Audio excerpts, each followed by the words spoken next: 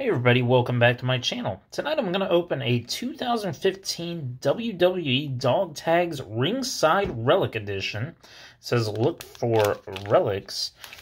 This is the back of the pack. I got this at Big Lots. I believe it was $2.50. So, wow, that pull tab goes right over the card. Not very good placements. Got RVD damaged card, 18 of 30, and a dog tag of Rob Van Dam. That's the Rob Van Dam special pack. Like my video and subscribe to my channel. Have a great evening, everyone.